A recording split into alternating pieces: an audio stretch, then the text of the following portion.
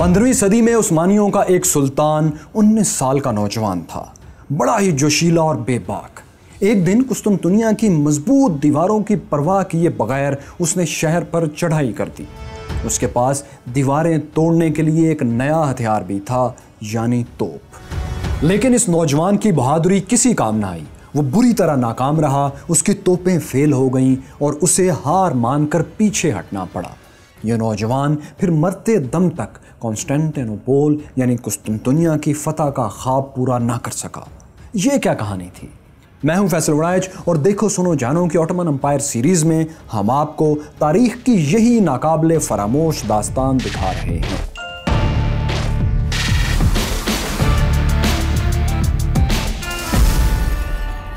क्या आपको मालूम है कि कुस्तुनतुनिया की दीवारों पर बम बरसाने वाला पहला नौजवान कौन था? ये था सुल्तान मुराद सानी, जो 1421 में सल्तनत उस्मानिया के तख्त पर बैठा और अगले ही बरस उसने कुस्तुनतुनिया का मुहासरा कर लिया। उसके पास अपने दौर का जदीद तरीन हथियार, यानी तोपें भी थीं। उसकी तोपों ने जर्मन माहरीन की निगरानी में कुस्तुनतुनिया की दीवारों पर बेतहाशा गोले बरसाए। इसका अंदाज़ा यूँ कीजिए कि सिर्फ़ एक टावर पर सत्तर गोले गिरे। लेकिन मसला ये हुआ कि सुल्तान के अपने भाई मुस्तफ़ा ने, जो कि हमीद के इलाके का गवर्नर था, रूमी शहनशाह के इशारे पर बगावत कर दी। मुराद सानी को मजबूरन कुस्तुनतुनिया का मुहासरा ख़त्म करके अपने भाई से जंग करना पड़ी। इस जंग में मुस्तफ़ा तो मारा गया, लेकिन सुल्तान मुराद सानी फिर कभी रूमी सल्तनत के मरकज़ कुस्तुनतुनिया की तरफ़ कदम नहीं बढ़ा सका और सिर्फ़ कुस्तुनतुनिया से खिराज लेकर इसे इसके हाल पर छोड़ता रहा। लेकिन जहाँ बाप नाकाम रहा था, वहीं उसके बेटे ने इस नाकामी से सबक सीखा। वो बेटा सुल्तान मोहम्मद सानी, जिसे आज दुनिया सुल्तान मोहम्मद फातेह के नाम से जानती है, अपने बाप की गलती नहीं दोहराना चाहता था।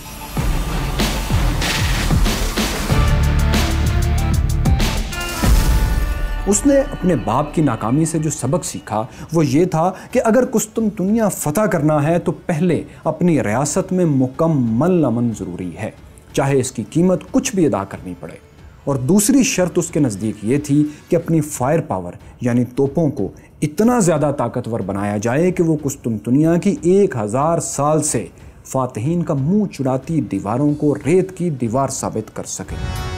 क्योंकि यही सब करके सुल्तान को वो सुर्ख सेब मिल सकता था, जिसे पाने की आरज़ू लिए उसका बाप मनो मट्टी तले जा सोया था। ये सुर्ख सेब क्या था? कुस्तुनतुनिया शहर में एक बहुत बड़ा चर्च था, जिसे हेगा सूफिया कहते थे। इस चर्च के बाहर एक सौ फुट ऊँचे खूबसूरत सतून पर एक रोमन शहनशाह का घोड़े पर सवार मुजस्मा नस्ब था। यह मुजस्मा उसी शहनशाह का था, जिसने हेगा सूफिया चर्च तामीर करवाया था। मुजस्मे ने देवमालाई यूनानी हीरो एक्लीस जैसा लिबास पहन रखा था। उसके एक हाथ में ग्लोब था, जिसमें स्लीब गड़ी हुई थी। ये स्लीब और ग्लोब पूरी दुनिया पर ईसाइत के गलबे की इलामत थी। यूरोप में मशहूर था कि जो शख्स कुस्तुनतुनिया को फतह करके ये ग्लोब और स्लीब हासिल करेगा, वही पूरी दुनिया का शहनशाह होगा। चुनाच इस शहर की फतह हुक्मरानों के लिए एक चैलेंज बन चुकी थी। एक हज़ार साल में कई लोगों ने यह चैलेंज कबूल किया, मगर कुस्तुनतुनिया की मज़बूत दीवारें हर हमलावर को नाकाम वापस लौटने पर मजबूर करती रही उस्मानियों ने भी एक से ज़्यादा मरतबा ये शहर फतह करने की कोशिश की, लेकिन कामयाब ना हो सके। तुर्क इस सलीब वाले ग्लोब को सुर्ख सेब कहते थे, क्योंकि सुर्ख सेब उनके नज़दीक पूरी दुनिया पर हुक्मरानी की अलामत था। वो इस सुर्ख सेब को हासिल करने के लिए बेकरार थे, क्योंकि उस वक्त वो दुनिया की सुपर पावर तो बहरहाल बन चुके थे। तो मुराद सानी की वफ़ात के बाद तख्त ताज के साथ सुर्ख सेब का चैलेंज भी मोहम्मद सानी को विरासत में मिल गया। चैलेंज तो विरासत में आ गया, लेकिन ये चैलेंज बहुत मुश्किल चैलेंज था। तख्त ताज मिलने से भी ज़्यादा मुश्किल। जी हाँ सुल्तान मोहम्मद सानी को अपनी जानशीनी के लिए कोई बड़ी जंग या बगावत से नहीं लड़ना पड़ा था। और उसके इतने आसानी से सुल्तान बन जाने की वजूहत बहरहाल दिलचस्प और पुरसरार तो थी।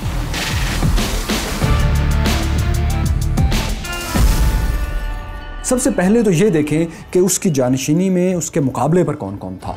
मोहम्मद सानी के दो बड़े भाई थे, अहमद और अली। अहमद बड़ा था, लेकिन उसका वालिद सुल्तान मुराद सानी छोटे बेटे अली से ज़्यादा मोहब्बत करता था। और इसीलिए समझा जाता था कि अली ही अगला सुल्तान होगा। जबकि मोहम्मद सानी सबसे छोटा था और वैसे भी उसे ज़िद्दी और खुद सर बढ़ बड़ी हद तक एक नालायक लड़का समझा जाता था। यानी उसके सुल्तान बनने का कोई इम्कान नहीं था। इन हालात में लगता था कि अहमद या अली में से कोई एक सुल्तान बनेगा, जबकि बाकियों के हिस्से में आएगी रेशम की डोरी। यानी किसी एक के भी सुल्तान बनने का मतलब बाकियों की मौत था। लेकिन फिर हुआ ये कि इसका बड़ा भाई अहमद, जो अमीसिया का गवर्नर भी था, वो चौदह में अचानक मर गया। इसकी जगह इसके दूसरे भाई अली को गवर्नर बनाकर भेजा गया। लेकिन 1443 में हज़र पाशा नाम के एक तुर्क सरदार ने अली और उसके शीर खार बच्चों को रात के अंधेरे में कत्ल कर दिया। हज़र पाशा का क्या इंजाम हुआ और उसने अली बेग को क्यों कत्ल किया था? ये बात तारीख में वाज नहीं है। बहरहाल, ये वाक़ात जैसे भी हुए। मोहम्मद सानी के रास्ते से दोनों बड़े भाई हट चुके थे और उसके सुल्तान बनने में कोई ख़ानदानी रुकावट बाकी नहीं रही थी। वो सुल्तान बन गया, लेकिन एक छोटा सा मसला भी बाकी था। वो ये कि उसकी एक सर्बियन सोतेली माँ का एक साल का बेटा, जिसका नाम उसके बाप ने अहमद ही रखा था, वो भी ज़िंदा था। ज़ाहिर ये एक साल का बच्चा सुल्तान मोहम्मद सानी के लिए कोई मसला उस वक्त नहीं था, लेकिन सुल्तान ये सीख चुका था कि अगर सुर्ख सेब हासिल करना है तो उसे हर सूरत अमन अमान बरकरार रखना होगा, चाहे इसकी कुछ भी कीमत देना पड़े। यह एक साल बच्चा उस वक्त नहीं तो सुल्तान के नज़दीक मुस्तकबिल में एक पोटेंशियल थ्रेट बहरहाल था। चुनाचे एन उस वक्त, जब उसकी सर्बियन सौतेली माँ सुल्तान मोहम्मद सानी को तख्त नशीनी की मुबारकबाद दे रही थी, सुल्तान के हुक्म पर एक मुलाजिम एक साल अहमद को पानी के हौज में डबो रहा था। अगले रोज़ सुल्तान ने उस मुलाजिम को भी अहमद के कत्ल के इल्ज़ाम में कत्ल करवा दिया। फिर मोहम्मद सानी ने एक साल अहमद की माँ की शादी एक तुर्क सरदार से करके उसे दारुल हुकूमत से बाहर भेज दिया। सुल्तान मोहम्मद सानी ही सल्तनत उस्मानिया का वो सुल्तान था जिसने ये कायदा और कानून बना दिया था कि उसके बाद उसके बेटों में से जो भी तख्त पर बैठेगा, उसके लिए लाजमी होगा कि वो तख्त के दूसरे वारिसों, यानी दावेदारों को, यानी अपने भाइयों को कत्ल कर देगा, ताकि रियासत में अमन कायम रहे। जानशीनी के मसले के अलावा सुल्तान ने इर्द गिर्द की रियासतों से भी अमन अमान कायम कर लिया था। यूरोपी ताकतों से अमन और तजारत के माहदे करके उसने जंग का इम्कान ख़त्म कर दिया था।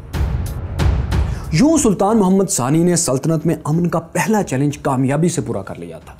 अब उसे दूसरी शर्त पूरी करना थी, यानी एक ऐसी ताकतवर तोप तलाश करना थी या बनवाना थी, जो कुस्तुम दुनिया की दीवारें तोड़कर सुल्तानी फौज को शहर में दाखिल कर सके।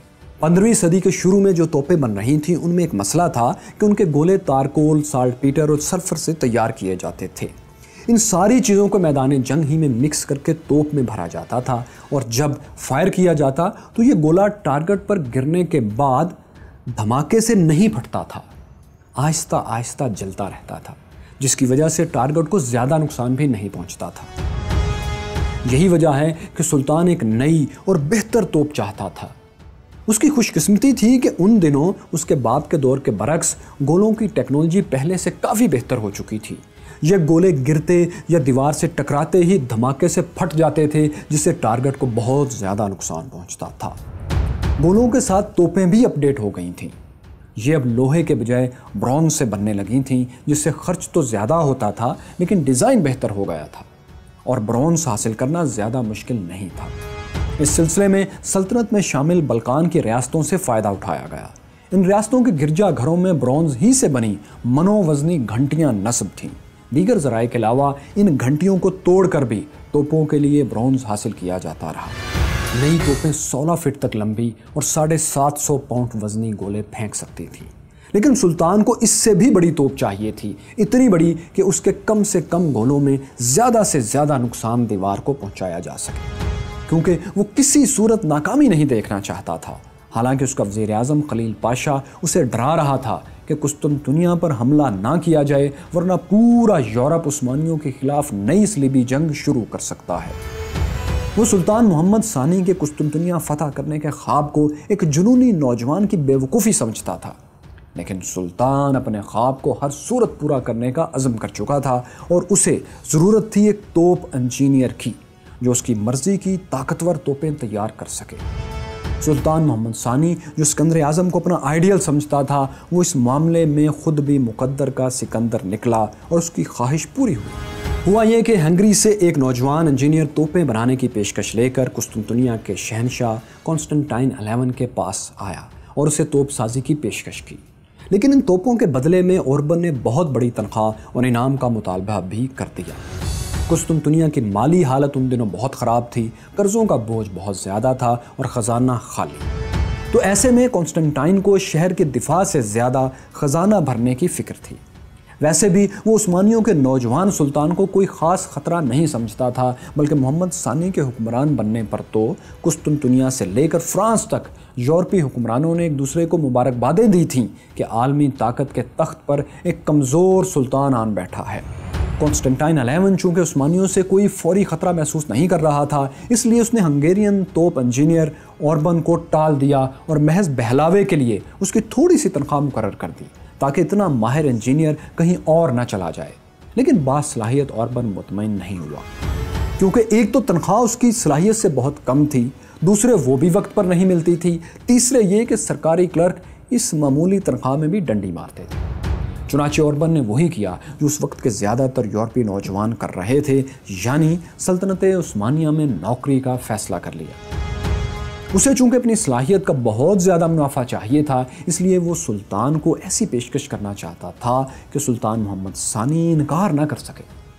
उसे मालूम था कि सुल्तान कुस्तुनतुनिया की दीवारें तोड़ने के लिए बेकरार है।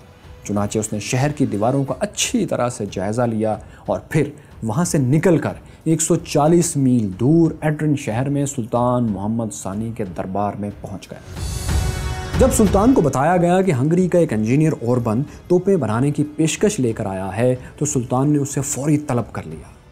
सुल्तान खुद भी जंगी टेक्नोलॉजी की बहुत ज़्यादा समझ रखता था, इसलिए उसने ओरबन से चंद टेक्निकल सवालात के बाद सीधा सवाल किया, क्या तुम ऐसी तोप बना सकते हो जिससे कुछ तुम दुनिया की दीवारें गिर जाएँ और उसका गोला इतना बड़ा हो? सुल्तान ने हाथ के इशारे से गोले का साइज़ समझाया।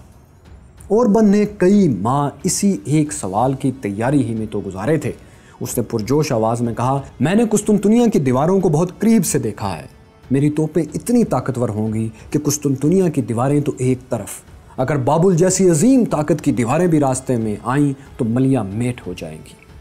सुल्तान को यही जवाब चाहिए था। उसने ओरबन को उसके मुँह मांगे मुआवजे से भी चार गुना ज़्यादा देने का वादा किया और जल्द से जल्द तोपें तैयार करने का हुक्म भी जारी कर दिया। तीन माह बाद ओरबन ने पहली तोप तैयार कर ली। इस तोप को बासफोरस के साहिल पर एक तुर्क किले रोमेली हज़ार में भेज दिया गया। नवंबर चौदह में इस तोप से फायर होने वाले एक गोले ने वीनस के एक बहरी जहाज़ को डबो दिया। ये जहाज़ कुस्तुनतुनिया पहुँचने की कोशिश कर रहा था।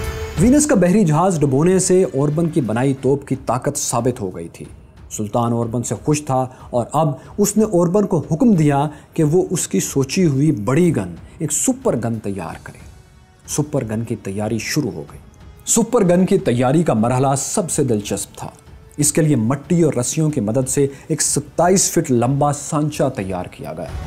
ऑर्बन ने ईंटों और पत्थरों से दो बड़ी बड़ी भट्टियाँ तैयार की, जिन्हें एक हज़ार डिग्री सेंटीग्रेड तक गर्म किया जाता था और इनके चारों तरफ़ तारकोल की एक पहाड़ी सी बना दी। ये पहाड़ी इतनी बुलंद थी कि ऊपर से झांकने पर भट्टियों का सिर्फ़ दहाना ही नज़र आता था। फिर भी भट्टियों की तपिश इतनी थी कि ऊपर खड़े शख्स तक भी पहुँचती थी। जब इस भट्टी में लकड़ियाँ डालकर आग जलाई गई तो वहाँ काम करने वाले तमाम लोग एक जगह जमा होकर अल्लाह अल्लाह पुकारने लगते। तैयारी के आखिरी दिनों में जब भट्टी में टेंट डाला जाना था, उस दिन सल्तनत के वजीरों, मुफ्तियों और शयूख को बुलाया गया, ताकि उनकी मौजूदगी से बरकत रहे। इनके अलावा किसी शख्स को भट्टियों के करीब जाने की इजाज़त नहीं थी, ताकि नए हथियार को किसी की नज़र न लग जाए। भट्टियों के अमले के अलावा सिर्फ़ 40 लोग वहाँ मौजूद थे। उलमा और वज़रा भट्टियों से 100 फुट की दूरी पर बैठ गए और मुसलसल खुदा की बड़ाई बयान करने लगे। भट्टियों के निगरानों ने वजीरों और उलमा से कहा कि वो सदक़े के तौर पर सोने और चांदी के सिक्के भी भट्टियों में डाल दें। उन्होंने सोने और चांदी के सिक्के दिए, जिन्हें भट्टी के अंदर जलते हुए मवाद में मिक्स कर दिया गया। आखिर इस भट्टी से 27 फुट लंबी कांसी की तोप तैयार हुई, जिसका दहाना 30 इंच का था। ये वही साइज़ था जो सुल्तान ने औरबन को बताया था। यानी सुल्तान की मर्ज़ी की तोप तैयार हो चुकी थी। अब मरहला था इसे टेस्ट करने का। इस तोप को जनवरी चौदह में टेस्ट फायर के लिए निकाला गया। शहर के लोगों को एक दिन पहले खबरदार कर दिया गया था कि कल एक ऐसा धमाका होगा जिससे लगेगा कि बादल गरज रहे हैं, इसलिए खबरदार रहें और परेशान ना हों। यह मनादी भी शहर में करवाई गई कि धमाके की आवाज़ से हामिला औरतों को महफूज रखने की कोशिश की जाए। तोप को शहर के गेट के पास लाया गया। कई लोगों ने मिलकर पत्थर का एक गोला तोप में फिक्स किया। फिर एक मोमबत्ती के ज़रिए तोप के पैंदे में मौजूद बारूद को आग दिखाई गई। एक कान फाड़ देने वाले धमाके के साथ गोला तोप से निकला और एक मील दूर जाकर गिरा। गोला गिरने की जगह पर छः फिट गहरा गड़ा पड़ गया। ये तजर्बा कामयाब रहा था। धमाके की आवाज़ दस मील तक सुनी गई थी। सुल्तान ने इस कामयाब तजर्बे की खबरें जानबूझकर कुस्तुनतुनिया तक पहुंचाई ताकि वहाँ के मुहाफिजों और शहनशाह का मोराल गिर जाए। इस तजर्बे के बाद भी औरबन की भट्टी में मज़ीद तोपें बनती रहीं, लेकिन बाद में बनने वाली कोई भी तोप सुपर गन जितनी बड़ी नहीं थी। इनका अमूमी साइज़ 14 फीट से कुछ ज़्यादा होता था। औरबन ने ऐसी 60 से जायद तोपें बना डाली। अब सल्तनत में अमनो अमान भी था और तोपें भी तैयार हो चुकी थीं, यानी कुस्तुनतुनिया पर हमले की दोनों शराइत सुल्तान मोहम्मद सानी के नज़दीक पूरी हो चुकी थी। जंग में तखीर की कोई वजह नहीं थी तो सुल्तान ने यह किया कि तुर्कों के कबायली रिवाज के मुताबिक घोड़े की दुम से बना एक परचम महल के सहन में गाड़ दिया। ये इस बात का ऐलान था कि सुल्तान जंग शुरू करने जा रहा है। परचम गाड़ने के साथ ही सारी सल्तनत में कासिद दौड़ा दिए गए और तमाम अमीरों को हुक्म दिया गया कि वो फौजें लेकर एड्रिन पहुँचे। जंग का तरीक़ाकार ये था कि हर अमीर की ये ज़िम्मेदारी थी कि वो ज़्यादा से ज़्यादा सिपाही साथ लाए। इन सिपाहियों के हथियारों, ज़र्रा बख्तर और सवारी का बंदोबस्त भी उसी अमीर को करना होता था। यूँ देखते ही देखते चौदह के मौसम बहार तक दो लाख का लश्कर जमा हो गया, जिसमें 180 बहरी जंगी जहाज़ों का ताकतवर बेड़ा भी शामिल। था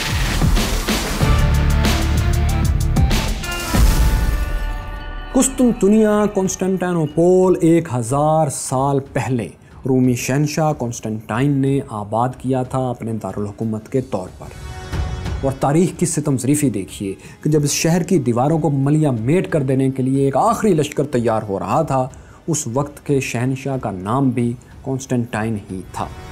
कॉन्स्टेंटाइन अलेवन इस आखिरी शहनशाह के पास ना तो सुल्तान मोहम्मद सानी जैसी तोपें थीं और ना ही दो लाख का लश्कर, लेकिन मुस्लिम और गैर मुस्लिम।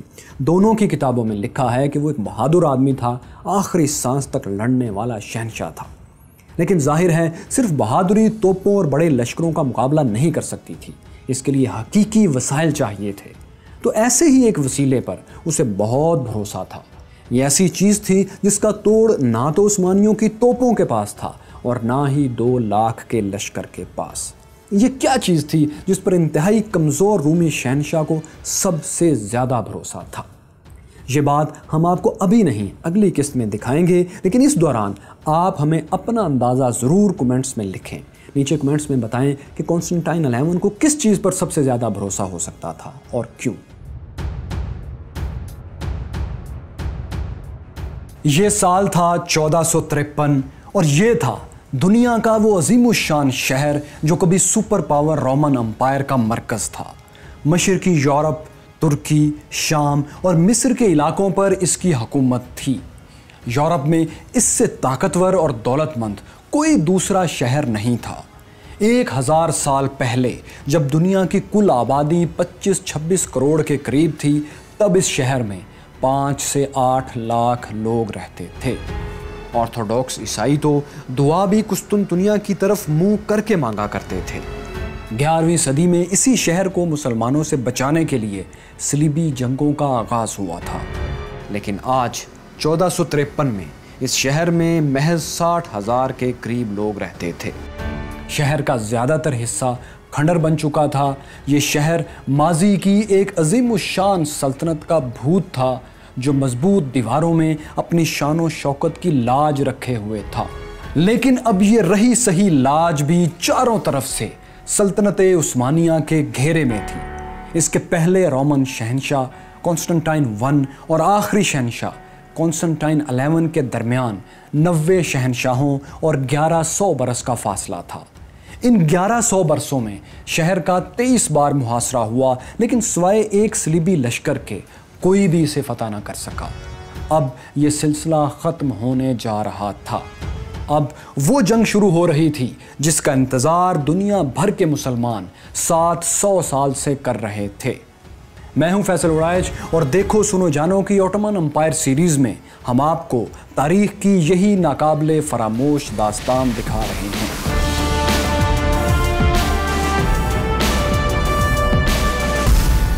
जंग में दो चीज़ें बहुत अहम होती हैं। एक कुत इरादी, यानी विल पावर, और दूसरी वसाइल असेंशियल रिसोर्सेज लेकिन इन दोनों से भी ज़्यादा ज़रूरी एक चीज़ होती है, द रीज़न जंग की वजह। सुल्तान मोहम्मद सानी के पास शहर को फतह करने के लिए चार अहम वजूहत थी। एक तो ये कि कुस्तुनतुनिया ने सुल्तान के एक बागी चचा और हान कल्बी को और उसके साथ चार पाँच सौ साथियों को पनाह दे रखी थी। और ये बात उस्मानी तुर्कों के लिए किसी तौर काबिल कबूल नहीं थी।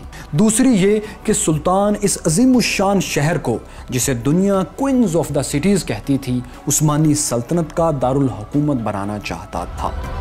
तीसरी वजह खालिसतन तिजारती थी।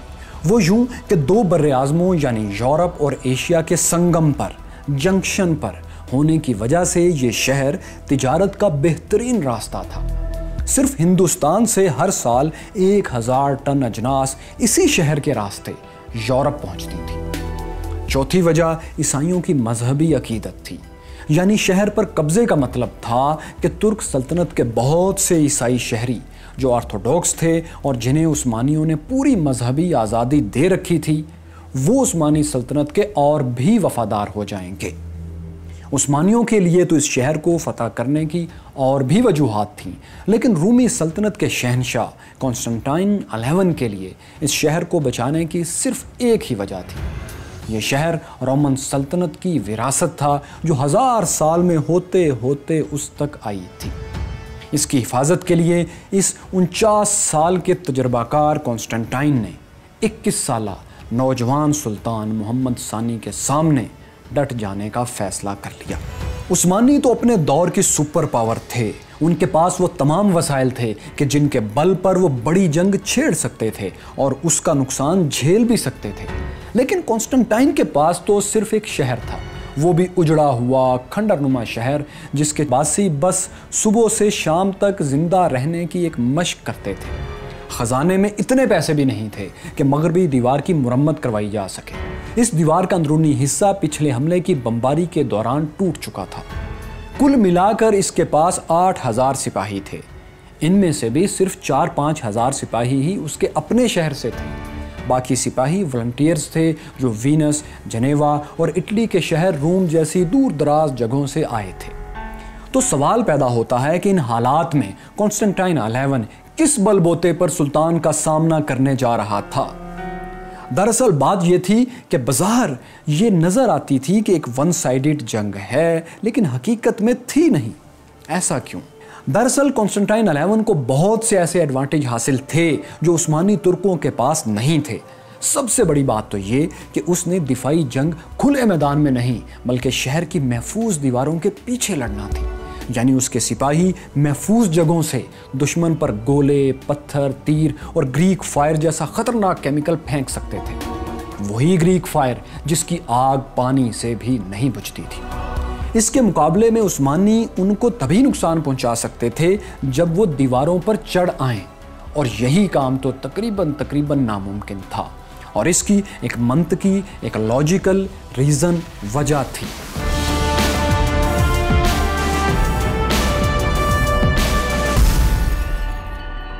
ज़रा इन दीवारों का स्ट्रक्चर देखें।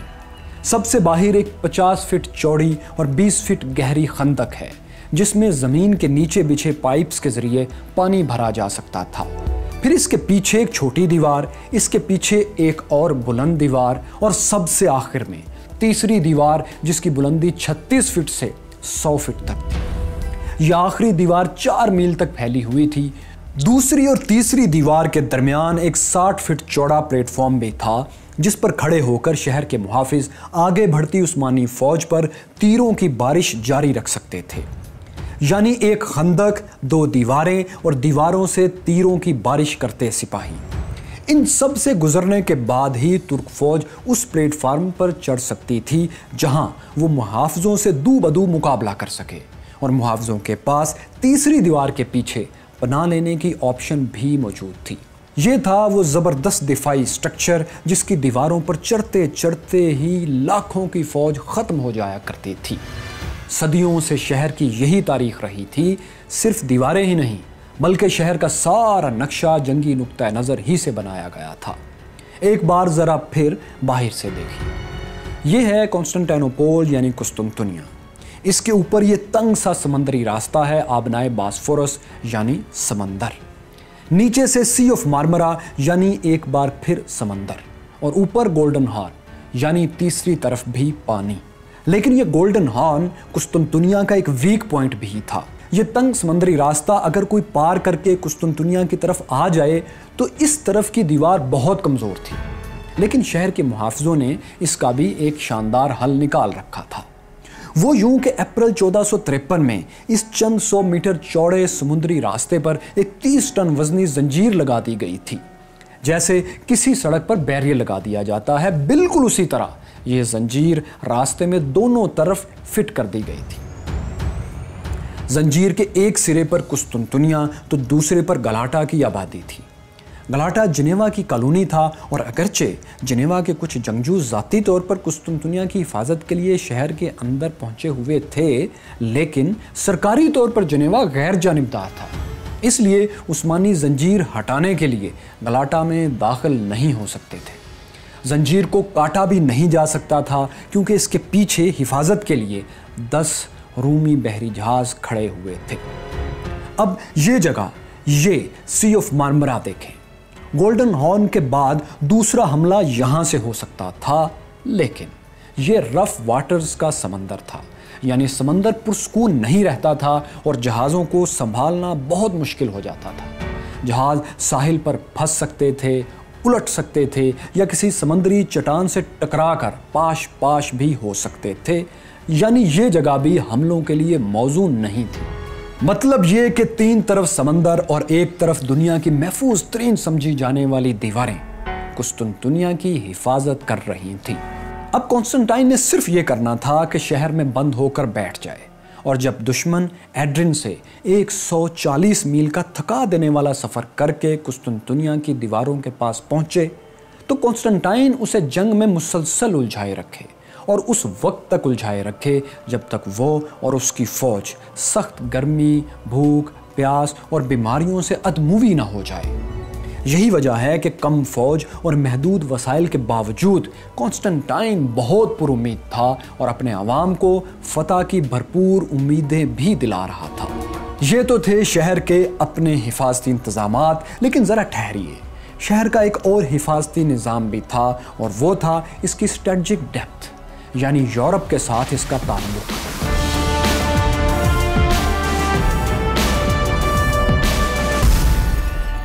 नक्शे पर देखें तो तुर्क सल्तनत के दरमियान ये शहर तने तनहा नज़र आता है। लेकिन सल्तनत उस्मानिया के बाहर ये सारा यूरोप है। अगर पोप निकोलस फाइव सलीबी जंगों का ऐलान करे तो ये सारा यूरोप कुस्तुनतुनिया की मदद के लिए अंदर आ सकता था। लेकिन इसके लिए पोप की कुस्तुनतुनिया से एक शर्त थी। और वो ये कि कुस्तुनतुनिया के ऑर्थोडॉक्स फ़िरके को कैथोलिक में जम करके इसकी अलग हैसियत ख़त्म कर दी जाए। कुस्तुनतुनिया ने ये शर्त भी उन दिनों कबूल कर ली। पोप का एक नुमाइंदा, कार्डिनियल एसोडोर 200 या 300 तीर अंदाजों के साथ कुस्तुनतुनिया पहुँच भी गया। और 12 दिसंबर चौदह को हेगिया सूफिया के चर्च में एक तारीखी तकरीब में दोनों चर्च एक हो गए। अब यूरोप से कुस्तुनतुनिया की मदद के लिए किसी भी वक्त सलीबी फौज आ सकती थी, लेकिन ऐसा हुआ नहीं। क्योंकि पोप की तमाम तर कोशिशों के बावजूद कोई यूरोपीय ताकत उस्मानियों के खिलाफ जंग पर राज़ी नहीं हुई। वजह यह थी कि पंद्रहवीं सदी के यूरोप में मजहबी जोश बहुत कम हो चुका था। सुल्तान के वालिद के दौर में सलीबी जंगों में शिकस्तों के बाद अब पोप का भी पहले जैसा असर नहीं रहा था यूरोपियंस पर। यूरोपियंस ताकतें अब मज़हब से ज़्यादा अपने मुफादात देखती थीं। वैसे भी जंगी लिहाज से उस वक्त किसी ईसाई रियासत के लिए उस वक्त की सुपर पावर सल्तनत उस्मानिया से टकराना कोई बच्चों का खेल नहीं था। इसका मतलब अपनी रियासत ही को दाव पर लगा देना भी था। हम आपको पिछली किस्त में दिखा चुके हैं कि सुल्तान ने कैसे हंगरी और दीगर यूरोपियन ममालिक से अमन माहदे और तजारत के माहदे किए थे। यही नहीं, बल्कि सर्बिया, जो सुल्तान की बाजगुजार यूरोपीय रियासत थी, उसने तो 1500 के लगभग ईसाई फौजी भी सुल्तान की मदद के लिए भेज दिए थे। लेकिन एक छोटी सी मदद बहरहाल कुस्तुनतुनिया को बाहर से मिली। वो ये कि जनवरी चौदह में जनेवा का एक मशहूर जंगजू कमांडर जस्टनियानी भी अपने 700 जंगजुओं के साथ कुस्तुनतुनिया पहुँच गया। कॉन्स्टेंटाइन ने जस्टेनियानी की सिपाहियाना महारत जानते हुए उसे अपनी फ़ौज का कमांडर इन चीफ बना दिया। पोप के तीरंदाजों और जस्टेनियानी के दस्तों के मिल जाने से अब कॉन्स्टेंटाइन की फ़ौज 9000 तक पहुँच चुकी थी।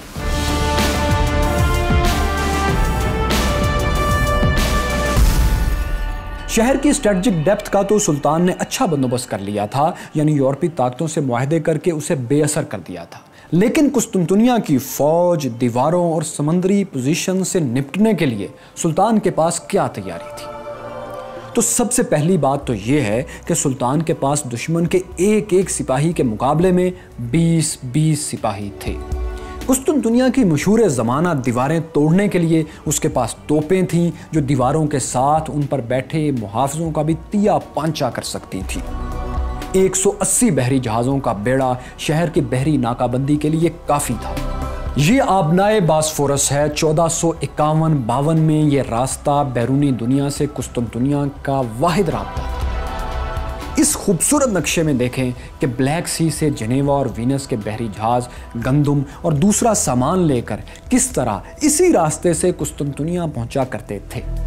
चौदह में सुल्तान मोहम्मद ने आबनाए बासफोरस के यूरोपी किनारे पर इस जगह शहर से छः मील दूर एक किले की तामीर शुरू कर दी। इस किले का नाम रोमिली हसार रखा गया। पुरजोश नौजवान सुल्तान ने खुद मजदूरों के साथ मेहनत करके सिर्फ़ साढ़े चार माह में ये किला खड़ा कर दिया था। ये किला आज भी यहीं मौजूद है। किले में तोपें लगाकर कोई 400 सिपाही तैनात कर दिए गए।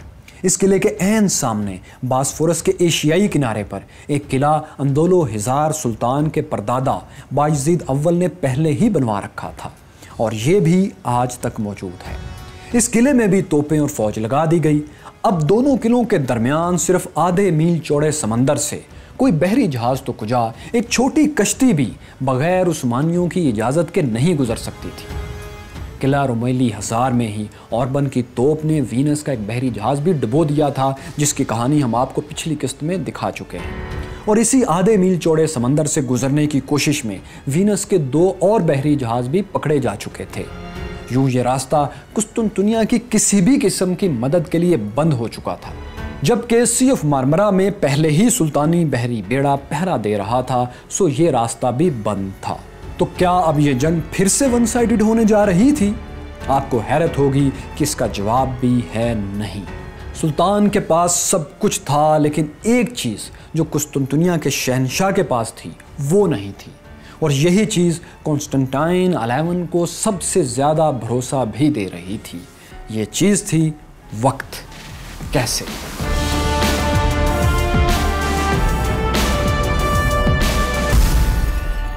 बात यह थी कि सर्दी हो या गर्मी, दोनों में ही कुस्तुनतुनिया के शहर के बाहर कोई फौज ज़्यादा देर तक नहीं ठहर सकती थी। हमले के लिए बेहतरीन मौसम मौसम बहार था, यानी मार्च और अप्रैल तक का वक्त। और इसके बाद भी कोई ताकतवर फौज सिर्फ़ एक माह और, यानी मई तक मुहासरा बरकरार रख सकती थी। इसके बाद सख्त गर्मी, प्यास और बीमारियाँ उस फौज का मुकद्दर बन जाया करती थी और ये मुहासरा ख़त्म करना पड़ता था।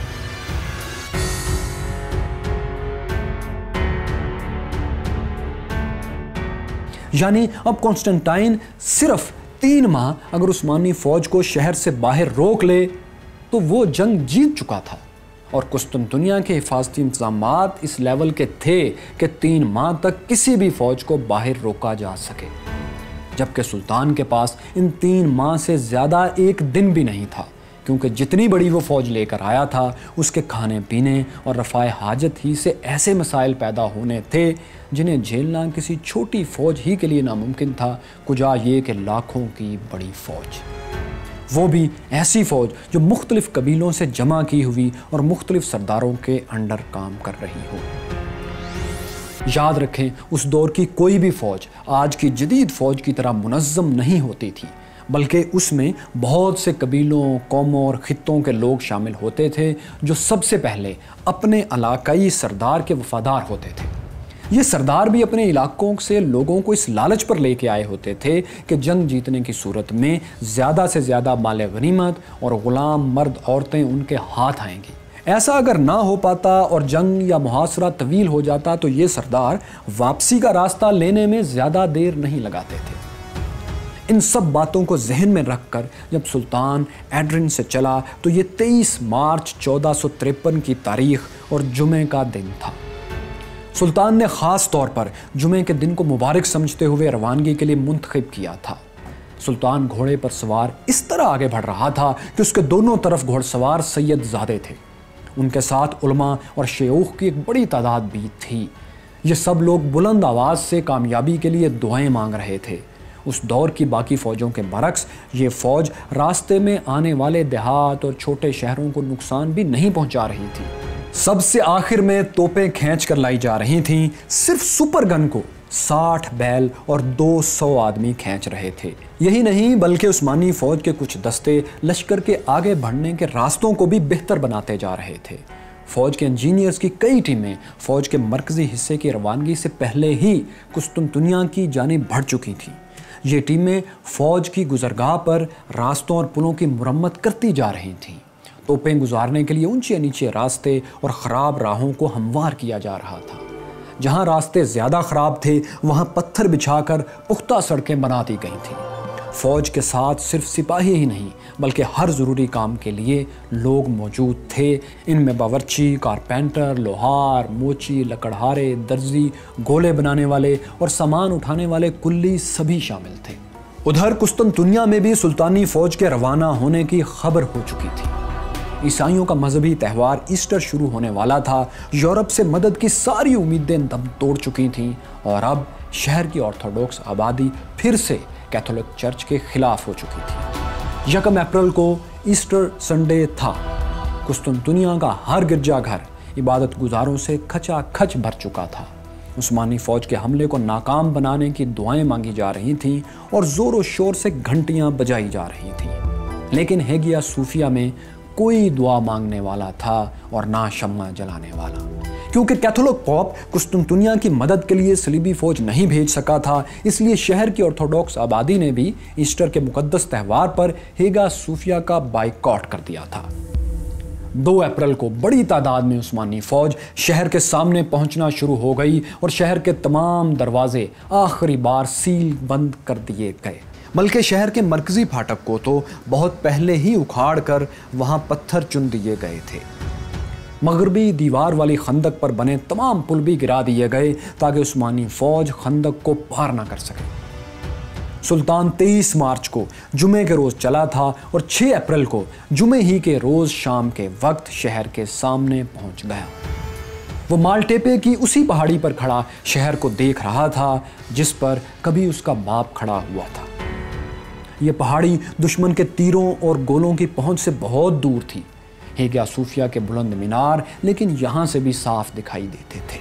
सिपाही आपस में सरगोशियाँ कर रहे थे कि इस चर्च के तहखानों में बहुत बड़ा ख़जाना है जो उनके हाथ आएगा, लेकिन सुल्तान उनकी बातों से बेपरवाह, दुश्मन के दिफा का बगौर जायज़ा ले रहा था। उसने शहर की मगरबी दीवार के सामने अपना सुर्ख और सुनहरी खैमा नस्ब करवाया। इसी जगह उसके वालिद ने 31 बरस पहले अपना खैमा नस्ब किया था। और इसी पहाड़ी के सामने रोमानोस गेट के पास वो दीवार थी जिस पर मुराद दोइम की तोपों ने गोले बरसाए थे, जिससे वो किसी हद तक टूट चुकी थी और अब कुस्तुनतुनिया अपनी गुर्बत के बायस इसे मुरम्मत भी नहीं कर पाया था। लेकिन ये सिर्फ़ एक अंदरूनी दीवार थी, जबकि बाहर वाली दीवार अभी सलामत थी।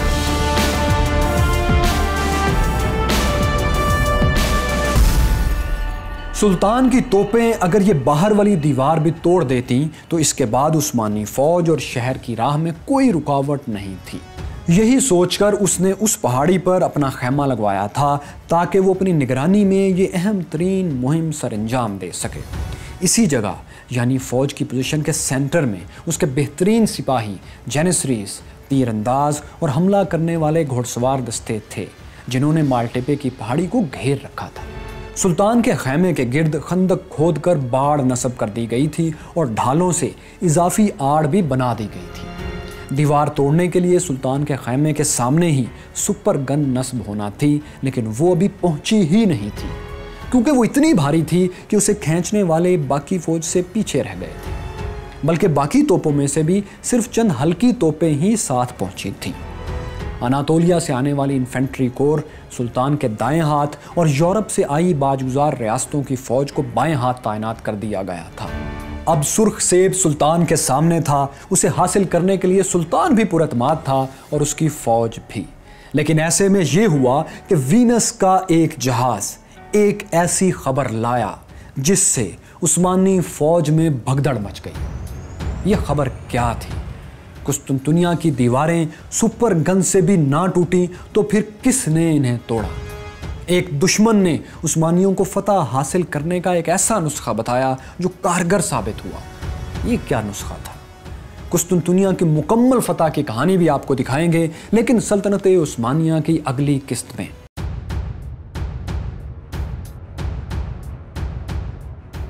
उर्दू से मिलती जुलती एक तुर्की कहावत है कि जिस जगह सुर्ख सेब होगा, वहाँ पत्थर तो आएँगे। लेकिन रूमियों ने कभी सोचा तक ना होगा, ख्याल तक ना किया होगा कि सुर्ख सेब के लिए आने वाले पत्थर छः छः सौ किलोग्राम वजनी होंगे। ग्रेनाइट से बने होंगे और शहर की दीवारें तिनकों की तरह उड़ा कर रख देंगे। चौदह में उस्मानी फौज कुस्तुनतुनिया पर ऐसे ही पत्थर बरसा रही थी ताकि ये सुर्ख सेब उनकी झोली में आन गिरे। मगर फिर अचानक सब कुछ पलट गया। उस्मानियों की सुपर गन टूट गई। इटली से आने वाले एक जहाज़ ने उस्मानियों के छक्के छुड़ा दिए और अफरा तफरी में उन्होंने ऐसा कदम उठा लिया जिसने उन्हें तबाही के दहाने पर ला खड़ा किया। मैं हूँ फैसल वड़ाइज और देखो, सुनो, जानो की ऑटोमन अम्पायर सीरीज़ में हम आपको इसी नाकाबले फरामोश जंग की मुकम्मल कहानी दिखा रहे हैं।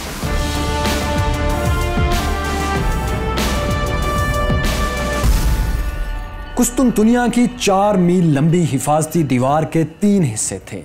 सुल्तान ने अपनी फौज को भी इसी तरतीब से खड़ा किया। इन तीन हिस्सों में से सबसे अहम दीवार का दरमियानी हिस्सा था, जो लाइक्स वैली कहलाता था। और असल में यही वो हिस्सा था, जिसकी दीवार सबसे कमज़ोर थी। इस हिस्से के दोनों किनारों पर एक एक गेट था। सुल्तान के खैमे के दाएँ हाथ पर जो गेट था वह सेंट रोमानोस गेट कहलाता था। जबकि बाएँ हाथ वाला गेट हेड्रियाना पोल था। दीवार लाइक्स वैली के बिल्कुल सामने, सुल्तान ने अपनी निगरानी में पचास हज़ार सिपाही तैनात किए थे, जिनमें बारह हज़ार जेनेसरीज भी शामिल थे। सुल्तान के दाएँ हाथ, यानी सेंट रोमानोस गेट से आगे, मारमरा के समंदर तक मजीद पचास हज़ार फौज तैनात थी। यह अनातोलिया से आई हुई मुसलमान पैदल फौज थी। यह तरबियत याफ्ता बेहतरीन हथियारों और ज़िरा बख्तरों से लेस सिपाही थे, जबकि सुल्तान के बाएँ हाथ, यानी पोल गेट से लेकर गोल्डन हॉर्न तक, कोई एक लाख फौज तैनात थी। ये इंतहाई गैर मुनज़म और कम तरबियत याफ्ता सिपाही थे, जिन्हें बाशी दजॉक्स कहा जाता था। इनमें यूरोप से आई हुई ईसाई फौज भी शामिल थी। उस्मानी फौज के बिल्कुल आगे शहर की हिफाजती दीवार से अढ़ाई सौ गज के फासले पर तुर्क इंजीनियर्स ने एक खंदक खोद रखी थी, जो पूरी हिफाजती दीवार की लंबाई के बराबर थी, यानी चार मील लंबी। इस खंदक के पीछे एक छोटी सी दीवार बना दी गई थी, जिसके पीछे घड़े खोदकर उनमें तोपें फिट की जा चुकी थी। सुपर गन को सुल्तान के खैमे के बिल्कुल सामने नस्ब किया गया था, जहाँ से वो हिफाजती दीवार के सबसे कमज़ोर हिस्से को बसानी निशाना बना सकती थी। सुल्तानी फ़ौज के मुकाबले में कॉन्स्टेंटाइन ने अपनी तकरीबन पूरी ही फ़ौज यानी 9000 सिपाही चार मील लंबी मगरबी दीवार पर फैला दिए सुल्तान की उनहत्तर या सत्तर तोपों के मुकाबले में कॉन्स्टेंटाइन के पास सिर्फ़ पंद्रह तोपें थीं। इस पर मजीद ये कि दीवारें कमज़ोर हो चुकी थीं, इन पर रख कर अगर तोपें चलाई जाती तो झटकों से दीवारें टूट सकती थीं, चुनाचे दीवार पर नुमाइशी अंदाज में तोपें लगा दी गई। जबकि सी ऑफ़ मारबरा वाली पाँच मील लंबी दीवार पर जो समंदर के साथ थी और जहाँ से हमले का ज़्यादा खतरा नहीं था, वहाँ कुछ कुछ फासले पर सिर्फ़ निगरानी के लिए चंद सिपाही और कुछ तोपें नस्ब थी। अब रह गई शहर की तीसरी तरफ़ गोल्डन हॉर्न वाली साइड की दीवार। ये हिस्सा जंजीर की वजह से पहले ही महफूज बनाया जा चुका था, इसलिए वहाँ कोई फौज तैनात नहीं की गई। ये तो थी दोनों तरफ़ की ज़मीनी फौज की पोजीशंस अब ज़रा दोनों फौजों की बहरी पोजीशंस देखते हैं। तो सुल्तान के 180 या बाज रवायात के मुताबिक 140 बहरी जहाज़ सी ऑफ़ मारमरा से आबनाए बासफोरस तक पेट्रोलिंग कर रहे थे। हम आपको पिछली किस्त में दिखा चुके हैं कि जंजीर की वजह से उस्मानी जहाज़ गोल्डन हॉर्न में दाखिल नहीं हो सकते थे, जबकि कुस्तुनतुनिया का पूरा बहरी बेड़ा 20 से 30 जहाज़ों पर मुश्तमिल था और गोल्डन हॉर्न की बंदरगाह में महफूज खड़ा था। लेकिन अब इस बहरी बेड़े समेत सबके इम्तिहान का वक्त आन पहुँचा था, क्योंकि 7 अप्रैल को कील कांटे से लेस उस्मानी फौज शहर को चारों तरफ़ से घेर चुकी थी। छोटी छोटी चंद झड़पें भी हो चुकी थीं, लेकिन ये सिर्फ़ नेट प्रैक्टिस थी। 12 अप्रैल की रात सुल्तान मोहम्मद सुपर गन के पास आया और चंद लम्हों बाद पहले गोले की जरब से कुस्तुल दुनिया की दीवारें थर्रा उठी।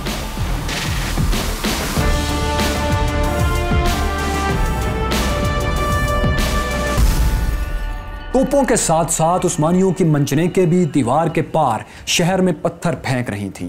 कई पत्थर शाही महल पर भी गिरे। कुस्तुनतुनिया पर रोज़ाना 120 गोले फायर हो रहे थे। 100 से 600 किलोग्राम तक वजनी गोले जब शहर के अंदर गिरते तो मीलों तक ज़मीन लरज उठती। जवाब में दीवार के मुहावजों ने भी अपनी तोपें चलाने का फैसला किया। लेकिन हुआ ये कि उनकी सबसे बड़ी तोप फायर करते ही फट गई।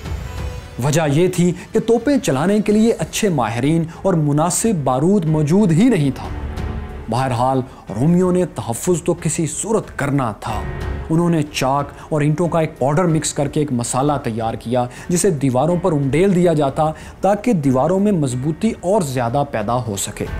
इसके अलावा शहर वालों ने अपने लिहाफों और चटाइयों से रुई और चमड़ा निकालकर इन्हें लकड़ी की लंबी लंबी शीटों पर बाँध दिया और इन शीटों को दीवारों के आगे लटकाना शुरू कर दिया, ताकि दीवारें गोलों का दबाव बर्दाश्त कर सकें।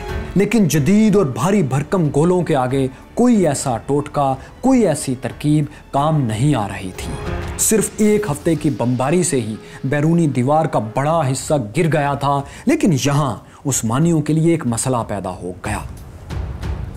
वो ये कि उस्मानियों की सुपर गन गोला फायर करने के बाद तेज़ी से ठंडी होने लगती थी, जिससे उसकी नाल टूटने लगती थी। इसे तेज़ी से ठंडा होने से बचाने के लिए इस पर गर्म तेल डालना पड़ता था। इसी मसले की वजह से सुपर गन दिन में सिर्फ़ सात बार फायर फेंक सकती थी। दूसरी तोपों के साथ भी ऐसे ही कुछ मसाइल थे, जिनकी वजह से फायरिंग बार बार रोकना पड़ती थी। लेकिन ये वक्फा कुस्तुनतुनिया वालों के लिए बहुत बड़ी नेमत था। इस दौरान हज़ारों रूमी मिलजुल कर दीवारों की मुरम्मत कर लेते थे। इस दौरान उन्होंने सेंट रोमानोस गेट के पास टूटी हुई दीवार इस तरह मुरम्मत कर ली कि अब वहाँ पत्थरों इंटों और झाड़ियों की एक बाढ़ बन गई थी। कुछ दूसरी कमज़ोर जगहों पर मट्टी और रेत से दीवार की मुरम्मत भी कर दी गई थी।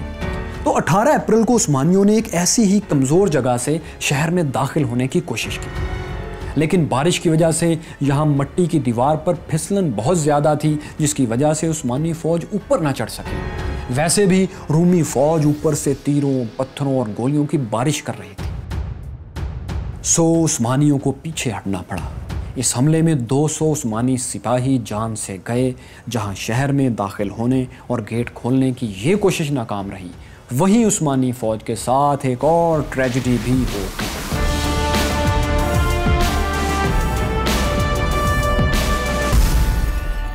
अभी जंग के इब्तदाई दिन थे कि सुल्तान मोहम्मद की उम्मीदों का मरकज और सबसे बड़ी तोप, सुपर गन, फायर करते हुए एक धमाके से फट गई। न सिर्फ़ तोप फटी, बल्कि इसे चलाने वाले इसके गिर्द खड़े माहिर तोप सास और सिपाही भी मारे गए। इन मारे जाने वालों में एक औरबन भी था इंजीनियर औरबन।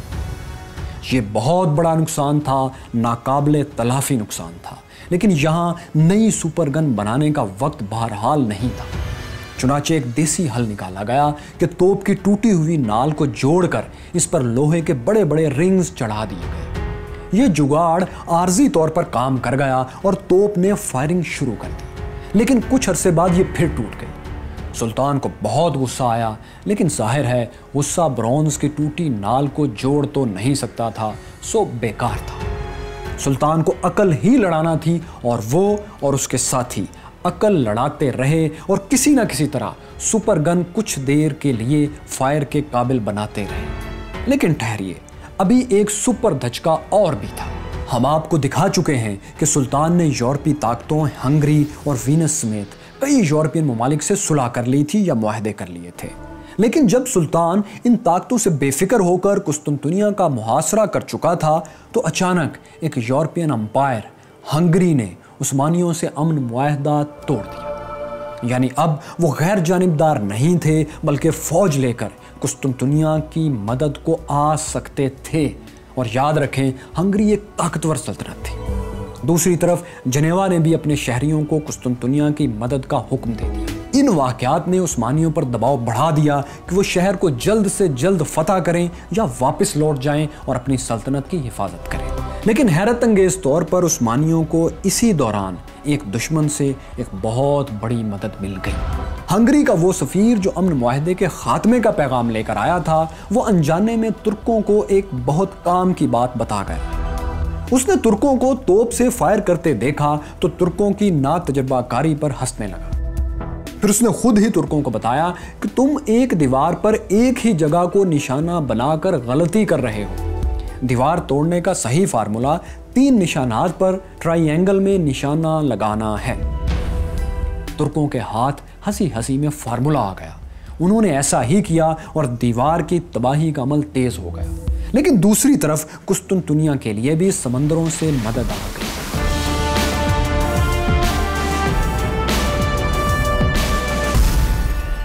जमीनी महाज के साथ बहरी महाज भी भरपूर गर्म हो चुका था। तुर्क बहरी बेड़े ने 18 अप्रैल को अपने एडमिरल सुलमान बाल्टोगलो की क्यादत में गोल्डन हॉर्न पर पहला हमला किया। उस्मानियों ने जंजीर की हिफाजत के लिए खड़े मुखालिफ जहाज़ों पर पहले गोलाबारी की और फिर उन जहाज़ों पर चढ़कर कब्जा करने की कोशिश की। लेकिन कुस्तुनतुनिया के जहाज़ बहुत बड़े थे, इन पर छोटे गोलों का कोई असर नहीं हुआ। इनके मुहाफ़ों ने अपने बुलंद जहाज़ों से तीरों की बारिश करके उस्मानियों को पीछे धकेल दिया। दो रोज बाद 20 अप्रैल को सुबह उस्मानी बेड़े को दूसरे चैलेंज से वास्ता पड़ा। जब सी ऑफ़ मारमरा में जनेवा के तीन बहरी जहाज़ उनके मुकाबले पर आ इन जहाज़ों को पोप निकोलस फाइव ने भेजा था। इनमें कुस्तुनतुनिया के लिए सिपाही, हथियार और खुराक लदी हुई थी। इनके साथ कुस्तुनतुनिया का एक तजारती बहरी जहाज़ भी था। सुल्तान उस वक्त साहिल से दो मील दूर अपने खैमे में बैठा था। उसे इन जहाज़ों के आने की खबर मिली तो वो घोड़ा दौड़ाता हुआ साहिल पर पहुँचा। उसने अपने बहरी बेड़े के कमांडर को सख्त तरीन पैगाम भेजा। तुम इन जहाज़ों को पकड़ कर मेरे पास ले आओ, या फिर ज़िंदा मेरे पास मत आओ। सुल्तान इतना पुरजोश और मुस्तरब था कि वो अपना घोड़ा बार बार पानी में डाल रहा था। वो बुलंद आवाज़ में पुकार पुकार कर अपने सिपाहियों का हौसला बढ़ा रहा था। लेकिन एक बार फिर वही मसला, कि दुश्मन के जहाज़ उस्मानी बहरी जहाज़ों से जिसामत में बहुत बड़े थे। इन पर गोलाबारी और तीरों का कोई असर नहीं हो रहा था। तीन घंटे की लड़ाई और भारी जानी नुकसान उठाकर उस्मानी बहरी बेड़ा पीछे हटने पर मजबूर हो गया कुस्तुनतुनिया वालों ने जंजीर हटाकर चारों इमदादी जहाज़ गोल्डन हॉर्न में दाखिल कर लिए और जंजीर फिर बराबर कर दी। पिछली किस्त में आप जान चुके हैं कि कुस्तुनतुनिया के पास सबसे बड़ा हथियार वक्त ही तो था। तो इस मदद के आ जाने से उनके पास वक्त की दौलत मजीद आ गई थी। वो मुहासरे को और देर तक बर्दाश्त कर सकने के काबिल हो गए थे। तो ज़ाहिर है, अब उस्मानी सुल्तान मोहम्मद सानी का गुस्से में आ जाना जायज़ था। वो दस हज़ार सिपाहियों के साथ अपने बहरी बेड़े के हेडक्वार्टर पहुँचा। उसने एडमिरल सुलेमान बाल्टोगलो को सौ कोड़े लगवाए, उसकी जायदाद जब्त करने का हुक्म जारी किया और उसे बरतरफ करते हुए हमजा बे को नया एडमिरल बना दिया। उस्मानी फौज को अब अगर फतह हासिल करना थी तो जहाज़ों को हर सूरत गोल्डन हॉर्न में पहुंचाना था। सुल्तान मोहम्मद सानी ने बहरी जंगी तारीख को बहुत बारीकी से पढ़ा था। उसे मालूम था कि तारीख में कई बार बहरी जहाज़ों को ज़मीनी रास्तों पर भी खींचना पड़ता है। वैसे भी उससे सिर्फ़ अढ़ाई सौ साल पहले सुल्तान सलाहुद्दीन यूबी यही कर चुका था। वो कश्तियों को दरिया नील से निकाल कर खुश्की पर खींचते हुए बहिरा अहमर में डाल चुका था, जबकि यूरोपियंस और वाइकिंग्स भी तारीख में ऐसा कर चुके थे। सो सुल्तान ने भी अपने जहाज़ खुश्की के रास्ते गोल्डन हॉर्न में उतारने का फैसला किया। उसने गलाटा से गोल्डन हॉर्न तक लकड़ी के तख्तों की तकरीबन डेढ़ मील लंबी सड़क बनवाई। इस सड़क के रास्ते में एक 200 फीट ऊँची पहाड़ी भी आती थी। इस सड़क पर लकड़ी के पहिए रखकर इन्हें जानवरों की चर्बी से चिकना कर दिया गया। फिर चरखियों की मदद से छोटे बहरी जहाज़ों को समंदर से क्रेन की तरह उठाकर इन पहियों पर रखवाया गया। सैकड़ों इंसान और बैल इन जहाज़ों को मज़बूत रस्सियों की मदद से खींचकर जंजीर को बाईपास करते हुए गोल्डन हॉर्न में ले गए और इस तरह बहरी जहाज़ गोल्डन हॉर्न में उतार दिए गए। कुस्तुनतुनिया का एक मज़बूत सहारा टूट गया।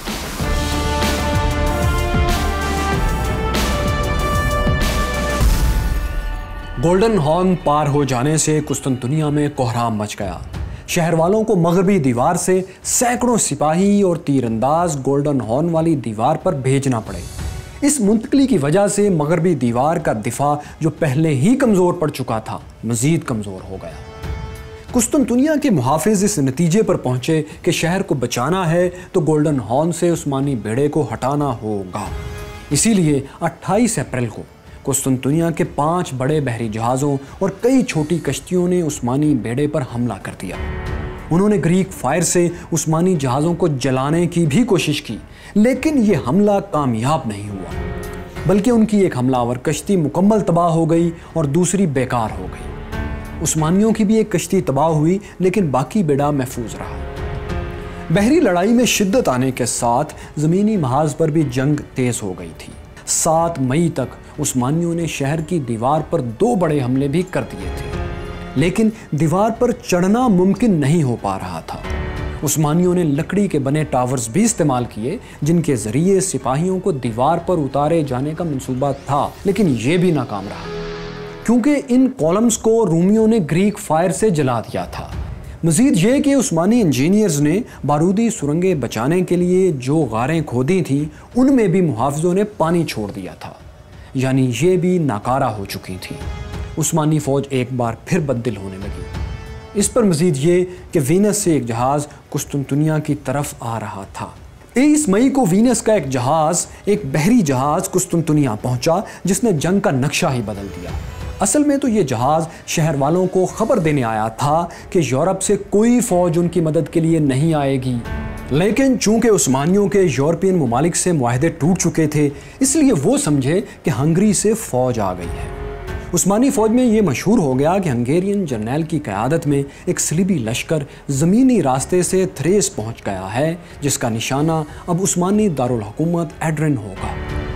उनके ख्याल में वीनस का ये जहाज़ दरअसल उसी सलीबी लश्कर का एक हिस्सा ही है। ये अफवाह मुहासरे में बैठी फ़ौज के लिए नींदें उड़ा देने वाली थी।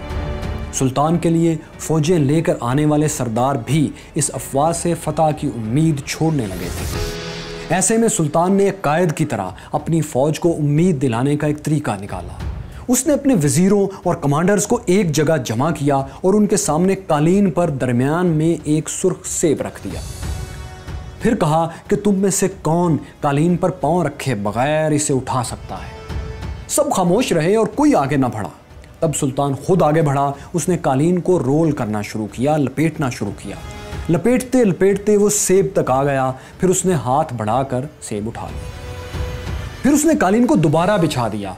ये सब के लिए पैगाम था कि शहर की फतह अब ज़्यादा दूर नहीं है। इसके लिए सुल्तान और उसके मुशीरों ने तय किया कि एक आखिरी पुरजोर हमला किया जाए। इस हमले में शहर फतह हो गया तो ठीक, वरना मुहासरा हटा लिया जाएगा।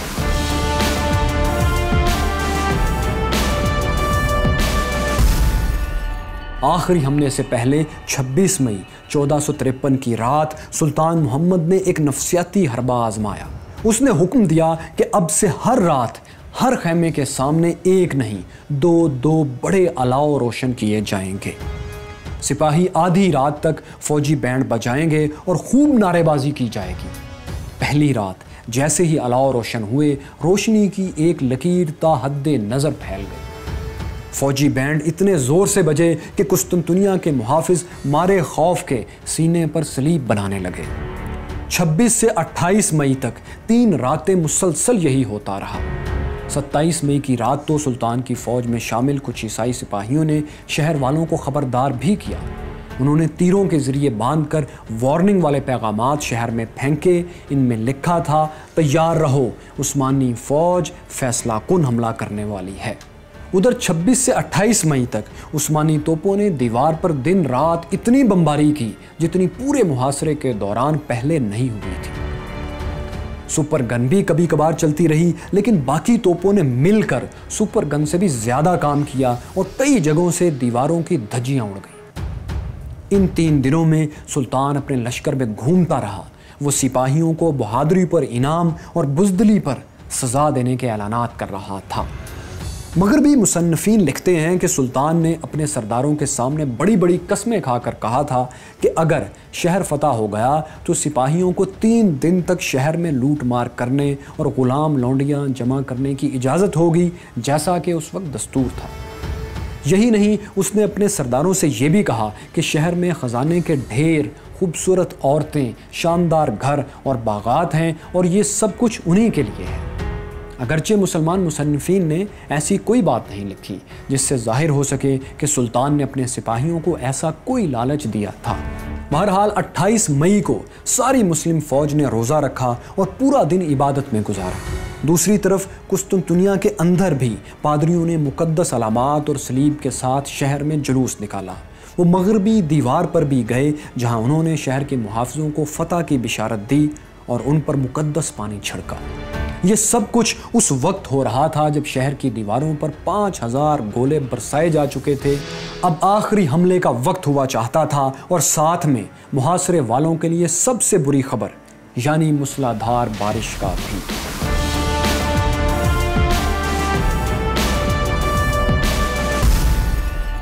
रात के वक्त सुल्तान ने तमाम फौज और बहरी बेड़ों को हुक्म दिया कि एक ही वक्त में शहर पर टूट पड़े। लेकिन असल में ये सारे हमले सिर्फ़ दिखावे के लिए थे, ताकि मुहाफ़ों की तवज्जो बटी रहे। असल हमला मगरबी दीवार के सेंटर में, मरकज़ में, रोमानोस गेट के पास होना था, जहाँ की दीवार ज़्यादातर पहले से गिर चुकी थी। यहाँ सिर्फ़ मट्टी और पत्थरों की एक बाढ़ रह गई थी। सुल्तान रोमानोस गेट के करीब ही खड़ा था। रात डेढ़ बजे सुल्तान ने अपनी गैर मुनज़म फ़ौज को दीवार पर हमले का हुक्म दिया। ढोल की थाप पर हज़ारों सिपाही खंदक पार करके बाढ़ पर टूट पड़े। कुस्तुनतुनिया के मुहाफिज अपने कमांडर जस्टिनियानी की क़यादत में भरपूर दिफा कर रहे थे। उन्होंने इस्मानी फ़ौज पर पत्थरों, ग्रीक फायर और तीरों की ऐसी बारिश की कि हज़ारों सिपाही मारे गए। दो घंटे तक बड़ी खौफनाक जंग हुई। सुल्तान ने इस गैर मुनज़म फ़ौज के पीछे मिलिट्री पुलिस खड़ी कर रखी थी और इसके पीछे जैनिसरीज खड़े थे। जो सिपाही भाग कर वापिस आता, मिलिट्री पुलिस उसे डंडों के ज़ोर पर वापस मैदान जंग में धकेल देती और अगर कोई सिपाही मिलिट्री पुलिस का घेरा तोड़कर पीछे आता तो वहाँ खड़े जेनसरीज तलवारों से उसके टुकड़े कर देते चुनाचे ये गैर मुनजम सिपाही जान तोड़कर आखिरी लम्हात तक लड़े। दो घंटे बाद, रात के साढ़े तीन बजे जब शहर के मुहाफ़ भी लड़ते लड़ते बुरी तरह थक चुके थे तो सुल्तान ने गैर मुनज़म फ़ौज पीछे हटाकर ताज़ा दम, दाएँ बाजू वाली फ़ौज अनातोलियन इन्फेंट्री को हमले का हुक्म दिया। अनातोलियन इन्फेंट्री के दस्ते ढालों की आड़ में आगे बढ़ने लगे तो उन पर तीरों और पत्थरों की बारिश होने लगी। फिर शहर के मुहाफ़ों ने उन पर ग्रीक फायर फेंक कर उन्हें जलाना शुरू कर दिया। मुहाफ़ों ने छोटी छोटी तोपों से फायर भी खोल दिया। इस सब कुछ से इन्फेंट्री के सैकड़ों सिपाहियों की जानें चली गई। अब सुल्तान के पास इसके सिवा कोई चारा नहीं था कि वो मुहाफ़ों पर तोपों से गोलाबारी करे।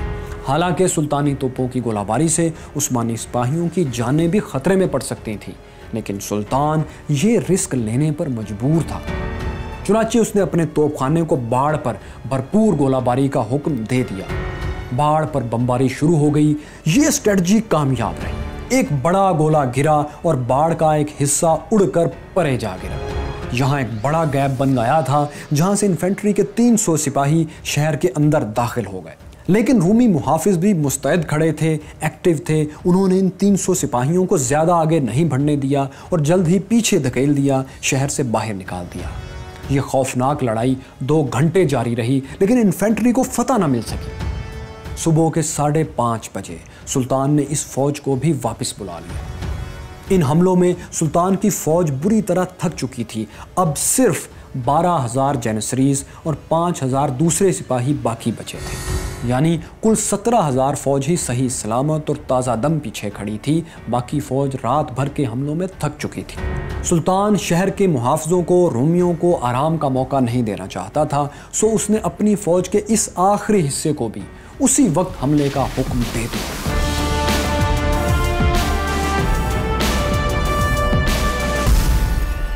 सुल्तान अपनी फ़ौज के इस आखिरी ताज़ा दम हिस्से को भी हमले का हुक्म देकर यह जानता था कि वो बहुत बड़ा जुआ खेल रहा है। उसकी सारी कामयाबी का इहसार इसी फाइनल हमले पर था। अगर ये हमला भी नाकाम हो जाता तो फिर सुल्तान के पास वापसी के सिवा कोई चारा नहीं था। इस हमले को जेनसरीज लीड कर रहे थे। उन्होंने भरपूर हमला किया। लेकिन शहर के मुहाफिज थकन से चूर होने के बावजूद जेनिसरीज का मुकाबला भी डट कर करने लगे। बज़ाहिर फतह की कोई उम्मीद एक बार फिर नज़र नहीं आ रही थी। ये तारीखी जंग अपने अरूज पर थी कि उस्मानियों को एक गैर मुतव बड़ी कामयाबी मिल गई। वो ये कि शहर की मगरबी दीवार की तह में एक खुफिया दरवाज़ा था, जिसे सर्कस डोर भी कहा जाता था। इस दरवाजे को शहर के मुहाफिज उस्मानी कैंप पर छापामार कार्रवाइयों के लिए इस्तेमाल करते थे। 28 मई की रात कुछ रूमी मुहाफिजों ने इसी दरवाजे को इस्तेमाल किया, लेकिन वापसी पर बंद करना भूल गए। एक तुर्क सिपाही ने यह मंजर देख लिया।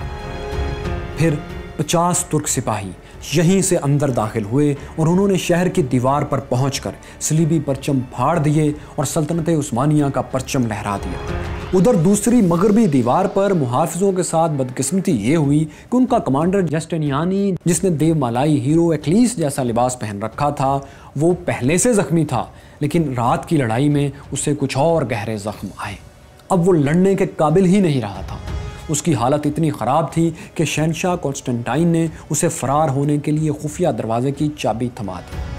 लेकिन जैसे ही जस्टनियानी के चंद साथी उसे लेकर उस खुफिया दरवाजे से बाहर निकले उसके बाकी सैकड़ों साथी भी उसके पीछे ही हो लिए और दीवार से हट गए। जस्टनियानी और उसके साथियों के हट जाने से दीवार का दिफा बेहद कमज़ोर हो गया।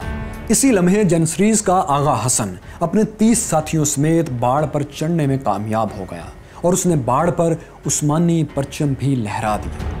अगरचे हसन और उसके 18 साथी इस लड़ाई में काम आ गए, लेकिन बाढ़ पर लहराता उस्मानी परचम बाहर खड़ी तुर्क फौज और अंदर मौजूद रूमी शहरियों को साफ़ नज़र आ रहा था। ये उनतीस मई की सुबह सात बजे का वक्त था और कुस्तुनतुनिया एक हज़ार साल बाद सल्तनत उस्मानिया के हाथों फतह हो चुका था। सुर्ख सेब उनकी झोली में आन गिरा था। जनसरीज शहर में दाखिल हो चुके थे। उन्हें देखकर शहर के बाहर खड़ी थकी हुई उस्मानी फौज में एक नया जोश भर गया। वो भी जेनसरीज के पीछे शहर में दाखिल होने लगे। दस मिनट के अंदर अंदर तीस हज़ार सिपाही शहर की अंदरूनी दीवार तक पहुंचकर इसके दरवाजे खोल रहे थे। शहर के मुहाफिज जान बचाने के लिए इधर उधर भाग रहे थे। सात सौ साल का इंतज़ार ख़त्म हो चुका था, लेकिन मसला था शहर को महफूज और पुरमन रखने का। मगर हकीकत ये थी कि शहर को फतह करने वालों को अभी आपस में भी लड़ना था। ये क्या कहानी थी? कुछ ईसाई आज भी कुस्तुनतुनिया की फतह की उम्मीद क्यों लगाए बैठे हैं? कुस्तुनतुनिया की दीवारों में कौन ज़िंदा है? और हाँ वो आखिरी रोमन शहनशाह, कॉन्स्टेंटाइन अलेवन का क्या हुआ? है गया सूफिया के तहखानों से कौन सा ख़जाना मिला था? ये सब कुछ आपको दिखाएँगे, लेकिन सल्तनत उस्मानिया की तारीख के इस सीज़न की अगली और आखिरी किस्त में।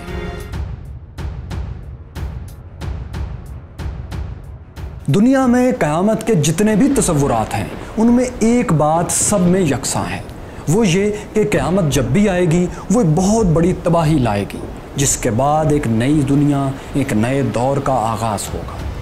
इसी तरह का एक अकीदा अनातोलिया और यूरोप के ईसाइयों में पंद्रहवीं सदी में भी था। वो ये कि अगर कुस्तुनतुनिया फतह हो गया, यानी कुस्तुनतुनिया ईसाइयों से छिन गया तो उस दिन क़यामत आएगी। या क़्यामत का आगाज़ होगा। इसलिए 29 मई चौदह के दिन कुस्तुम दुनिया के ईसाइयों ने यही समझा कि क़्यामत आ गई है। शहर वाकई तबाह हो रहा था और शहर के बाहर अपने खैमे में बैठा। सुल्तान मोहम्मद फ़ातह मुंतज़र था कि कब ये क़्यामत के लम्हात रुकें और वो शहर में अमन व अमान का हुक्म देकर एक नए अहद का आगाज़ कर सके। क्योंकि उसकी नज़रें इस तबाही के पार वो मुस्तबिल देख रही थीं, जब कुस्तुनतुनिया ने इस्तंबोल के नाम से फिर दुनिया का एक अजीम शान शहर बनना था। मैं हूँ फैसल वड़ैज और सल्तनत उस्मानिया के सीज़न वन की आज आखिरी किस्त में हम आपको यही सब दिखा रहे हैं।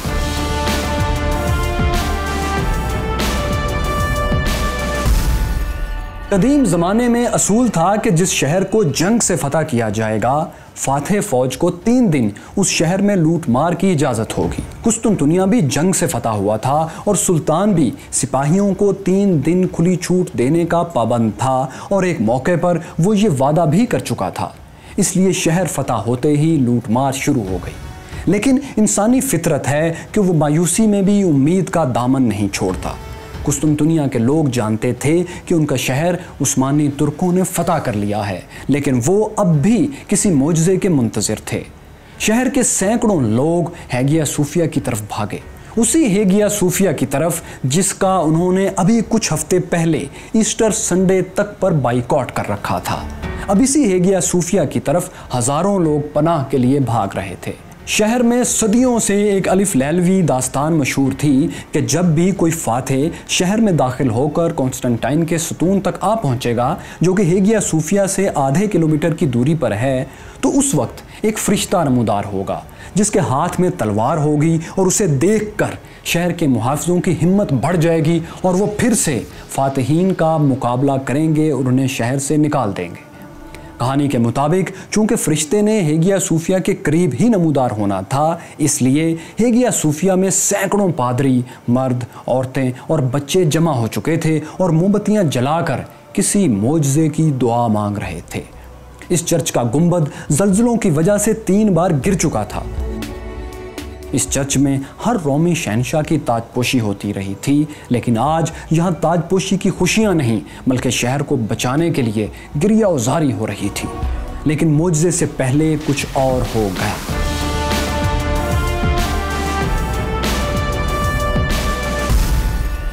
मुआवजा तो नहीं, अलबत्ता एक धमाका हो गया। वो यूँ कि अचानक चर्च के मरकजी दरवाजे पर, जो शहनशाह के गुजरने के लिए मखसूस था, एक खौफनाक आवाज़ गूंजी। शायद कुछ ईसाई ये समझे हों कि मदद के लिए फरिश्ते आ पहुँचे हैं, लेकिन ये किसी फरिश्ते की आमद नहीं, बल्कि सुल्तान की सबसे बेहतरीन फोर्स, यानी जेनसरीज के चर्च में दाखिले का ऐलान था। जेनसरीज ने चार इंच मोटे दरवाजे को कुल्हाड़ियों के वार से तोड़ दिया था, और अब वो चर्च के अंदर दाखिल हो चुके थे। जेनसरीज ने वहाँ खड़े एक एक पादरी, औरत और बच्चे को गुलाम बना लिया। इसके बाद उन्होंने चर्च को जी भर के लूटा। सोने, चांदी और हीरों से जुड़ी सलीबें और वहाँ नसब तस्वीर के कीमती फ्रेम तक उखाड़ लिए। सारा फर्नीचर, शहनशाह के बैठने की कुर्सी, सब कुछ लूट लिया गया, लेकिन अभी सिपाहियों ने एक और अहम काम करना था। है गया सूफिया के तहखानों में छुपा हुआ वो ख़जाना निकालना था, जिसकी कहानियाँ वो एक मुद्दत से और ख़ास तौर पर मुहासरे के दौरान सुल्तान और दूसरे लोगों से सुनते आए थे। और जिसकी ख्वाहिश में वो जान तोड़कर लड़े भी थे। सिपाहियों ने सारा तहखाना छान मारा, लेकिन वहाँ एक कब्र के सिवा कुछ नहीं था। ये कब्र वीनस के एक सियासतदान की थी। जब इसे खोदा गया तो सिपाही हैरत से उछल पड़े। मकबरे में ख़जाना तो नहीं, बस मुट्ठी भर हड्डियों का एक मजमु था। इतनी मेहनत और कुर्बानियों के बाद ख़जाने की जगह ये ढांचा देखकर जनसरीज की झंझलाहट बहुत बढ़ गई। उन्होंने यह ढांचा निकाल कर सड़क पर फेंक दिया। ये कहानी वेस्टर्न हिस्टोरियंस ने बयान की है, लेकिन मुस्लिम हिस्टोरियंस ने ऐसे वाक़ात का कहीं ज़िक्र नहीं किया। डॉक्टर उज़ैर ने अलबत्ता लिखा है कि तुर्कों ने फतह के जोश में कत्लेआम शुरू कर दिया, लेकिन जब शहर वालों ने मुजाहमत नहीं की तो वो माल गनीमत जमा करने में लग गए। इसके अलावा तमाम मुसलमान और गैर मुस्लिम हिस्टोरियन इस बात पर मुतफिक हैं कि सुल्तान शहर की इमारतों की तबाही नहीं चाहता था।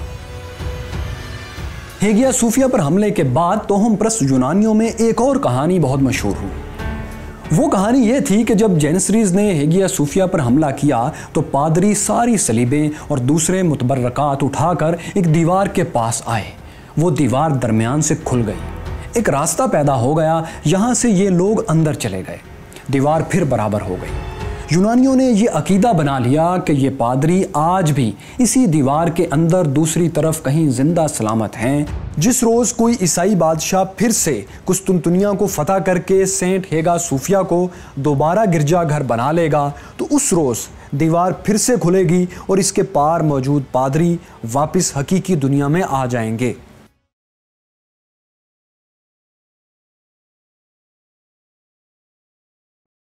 हेगिया सूफिया में तो मामला बगैर किसी खून खराबे के निमट गया था, लेकिन शहर के बाकी इलाकों में हालात अच्छे नहीं थे, बल्कि हलाकत खेजी तेज़ हो चुकी थी।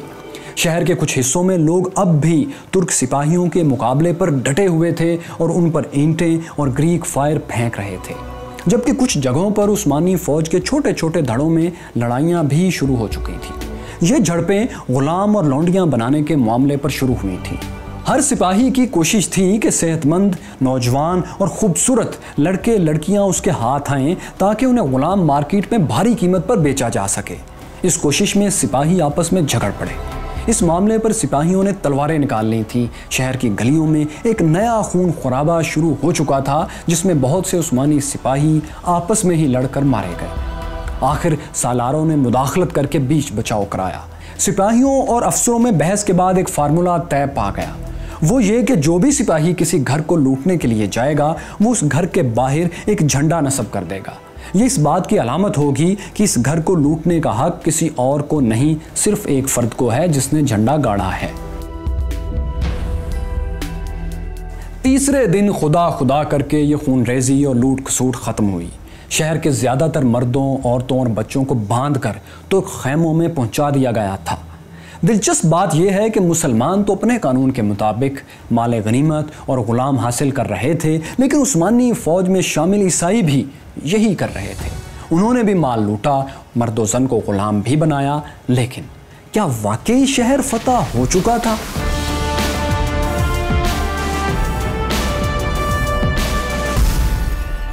हैरत अंगेज तौर पर शहर अभी तक मुकम्मल फतह नहीं हुआ था।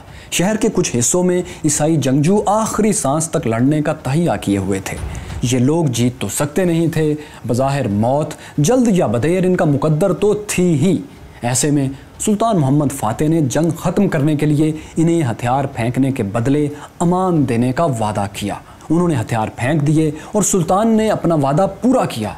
उन्हें वापस जाते हुए उस्मानी फ़ौज के किसी धड़े ने कोई नुकसान नहीं पहुँचाया। ये लोग शहर से निकले और अतालवी जहाज़ों में बैठकर यूरोप चले गए। लेकिन शहर की बंदरगाह में पंद्रह जहाज़ ऐसे खड़े रहे जिन्हें चलाने वाला कोई नहीं था। ये जहाज़ मुसाफिरों से खचाखच भरे हुए थे। उस्मानी फ़ौज ने ये सारे जहाज़ कब्ज़े में ले लिए और मुसाफिरों को ग़ुलाम बना लिया गया। शहरी आबादी को ग़ुलाम बनाने वाली बात भी तारीख में मुतनाज़ ही रही है। और आज इसके हक में या इसके ख़िलाफ़ कोई सबूत पेश नहीं किया जा सकता। अलबत् एक वेस्टर्न हिस्टोरियन स्टैनफर्ड शाह ने अपनी किताब में लिखा है कि शहर की ज़्यादातर आबादी उस्मानियों के डर से शहर छोड़कर जा चुकी थी, यानी उन्हें ग़ुलाम नहीं बनाया गया था। अब शहर वाकई फतह हो चुका था। रही सही मुजाहमत भी ख़त्म हो चुकी थी। पूरे शहर पर मुसलमानों का, उस्मानी तुर्कों का कंट्रोल था। लेकिन चार लोग ऐसे थे जिनकी तलाश सुल्तान मोहम्मद फ़ातह के लिए उस वक्त सबसे अहम थी। जिन चारों की तलाश थी, उनमें से एक था रोमन शहनशाह कॉन्स्टेंटाइन अलेवन दूसरा सुल्तान का चचा और हान कल्बी, जो उस्मानियों का गद्दार था।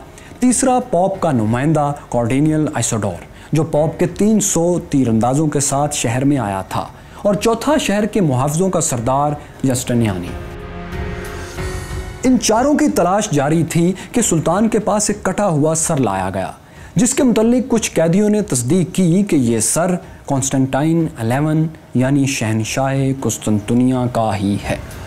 चुनाचे सर को एक नेजे पर टांग कर हेगिया सूफिया के सामने सुर्ख सेब वाले मुजस्मे के सतून पर नस्ब कर दिया गया ताकि सबको तस्दीक हो जाए, कि रोमन शहनशाह मर चुका है। बहरहाल, मगरबी दुनिया में आज भी कोई यकीन नहीं रखता कि कॉन्स्टेंटाइन की लाश मिली थी और उसका सर काटा गया था, क्योंकि उसकी कब्र तारीख की नामवर गुमशुदा कब्रों में से एक है। जो सर सुल्तान को पेश किया गया था, वो कॉन्स्टेंटाइन अलेवन का था या नहीं? लेकिन सुल्तान इस बात से मुतमिन था कि कॉन्स्टेंटाइन अलेवन अब नहीं रहा। मुस्लिम हिस्टोरियंस ने भी लिखा है कि जब जेनसरीज शहर में दाखिल हुए तो कॉन्स्टेंटाइन ने अपनी कीमती पोशाक उतार फेंकी थी और लड़ते हुए जान दे दी थी। सुल्तान की लिस्ट में कॉन्स्टेंटाइन अलेवन के बाद दूसरा नंबर और हान कलबी का था। क्योंकि जब तक ये शख्स ज़िंदा था, यह ख़तरा मौजूद था कि वो उस्मानी सल्तनत के तख्त ताज पर अपना दावा करके खाना जंगी ना शुरू करवा दे। शायद उरहान कल भी शहर से ज़िंदा सलामत निकल जाता, लेकिन सुल्तान के सिपाहियों ने उसे सी ऑफ़ मारमरा के करीब वाली दीवार पर दौड़ते हुए देख लिया।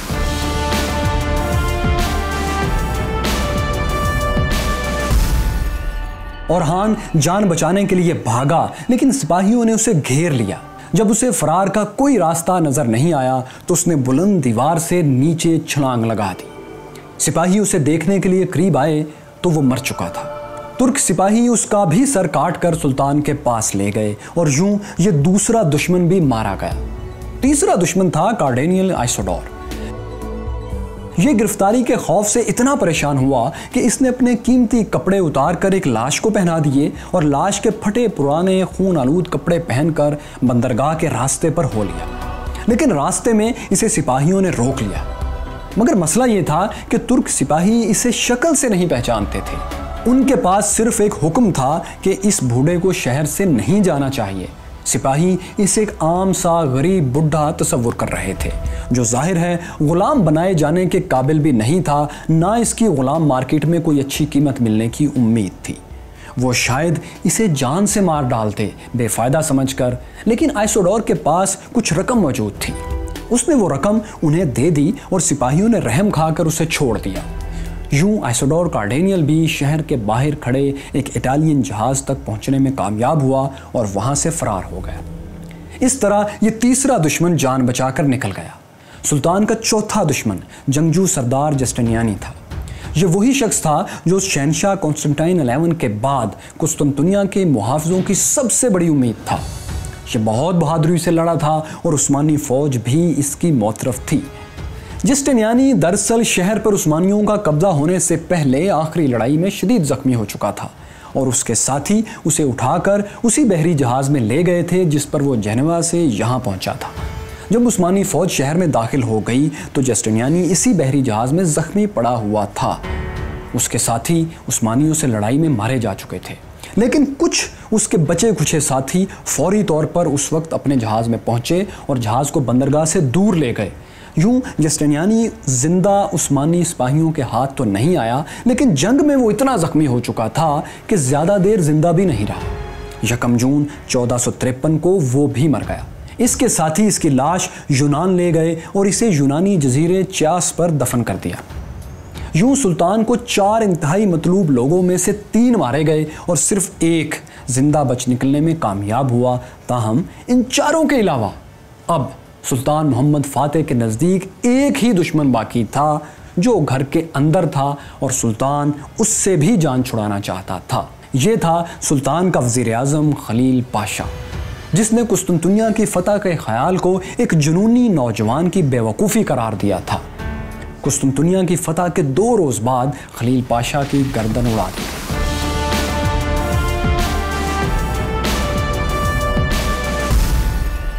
अब शहर फतह हो चुका था, सुल्तान के दुश्मन मारे जा चुके थे या भाग चुके थे। 21 साल का नौजवान उस्मानी सुल्तान सुल्तान मोहम्मद फातेह, अब सबसे ज़्यादा चाहे जाने वाले शहर का मालिक बन चुका था। वो शहर फतह हो चुका था, जिसका इंतज़ार मुसलमान सात सदियों से कर रहे थे, जिसकी बिशारत पैगंबर इस्लाम मोहम्मद सल्लल्लाहु अलैहि वसल्लम ने दी थी। दिन ढले सुल्तान शहर में दाखिल हुआ। सबसे पहले वो गिरजाघर हेगिया सूफिया के सामने पहुँचा, घोड़े से उतरा और उसने ज़मीन से कुछ मट्टी उठाकर अपनी पगड़ी पर डाल ली। ये उसका खुदा के सामने आजजी का इजहार था। वो इमारत में दाखिल हुआ। यहाँ एक सिपाही ने आज़ान दी और सुल्तान ने इस गिरजा घर को मस्जिद बनाने का ऐलान कर दिया। ऐलान के साथ ही इसको नया नाम दिया गया, आया सूफिया। इस दौरान सुल्तान ने देखा कि एक सिपाही इमारत का फर्श तोड़ रहा था। सुल्तान ने सिपाही को रोका और कहा, शहर और इसकी इमारतें मेरी हैं, इन्हें नुकसान मत पहुंचाओ। सुल्तान ने हेगिया सूफिया को तो मस्जिद बना दिया था, लेकिन शहर के एक और अहम church, the church of the holy apostles को मस्जिद नहीं बनाया गया था। यकम जून को सुल्तान ने शहर में अमन अमान कायम करने का फरमान जारी कर दिया और शहर से भागने वालों को भी कहा कि वो वापस आ जाएँ, उन्हें अमान दी जाएगी। यही नहीं, बल्कि सुल्तान ने ऑर्थोडॉक्स ईसाइयों के सबसे मोजस पादरी जॉर्ज कॉलेरियस, जिसे उसकी फौज ने कैदी बनाया हुआ था, उसको आज़ादी दिलवाकर ऑर्थोडॉक्स ईसाइयों का रूहानी पेशवा मुकर कर दिया। अब orthodox church Sultan Mohammed Fateh की सरप्रस्ती में आ चुका था, जबकि कुस्तुनतुनिया के साथ वाक़ जनेवा की कॉलोनी गलाटा ने भी खुद ही सरेंडर कर दिया था। और यूँ ये सारा इलाका सल्तनत उस्मानिया में शामिल हो चुका था।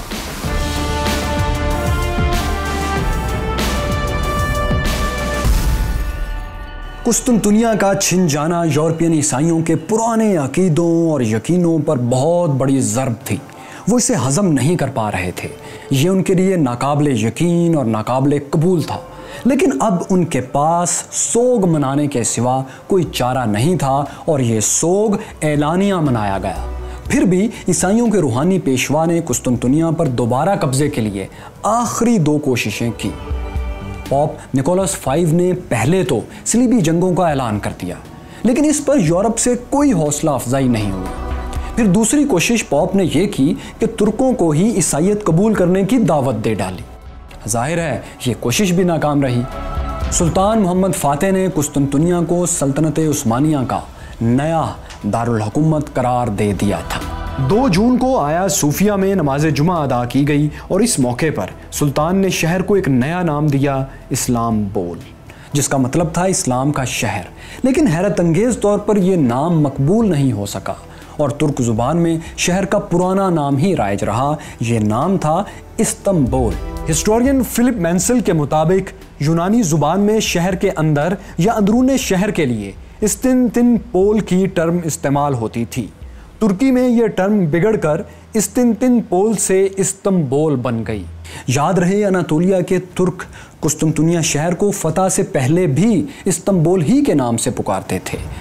बाज़ लोग समझते हैं कि इस्लाम बोल ही बिगड़कर इस्तंबोल बना है, लेकिन ये राय दुरुस्त नहीं लगती, क्योंकि गालिब इम्कान यही है कि मुसलमान इस्लाम के लफ्ज़ को बिगाड़ नहीं सकते और इस्लाम का तलफ़ वैसे भी पूरी दुनिया के मुसलमान एक ही तरीके से बोलते हैं। इसलिए इस्लाम बोल के बिगड़ कर इस्तंबोल बनने का इम्कान कम है। फतह के बाद कुस्तुनतुनिया की हाकमियत ही नहीं, इसकी शक्ल सूरत और आबादी भी बदल गई, क्योंकि सुल्तान एक बार फिर इसे जीता जागता आलमी शहर बनाना चाहता था। उसी के हुक्म पर, पूरी दुनिया से और ख़ास तौर पर सल्तनत उस्मानिया के कोने कोने से हुनरमंदों को लाकर यहाँ बसाना शुरू कर दिया गया।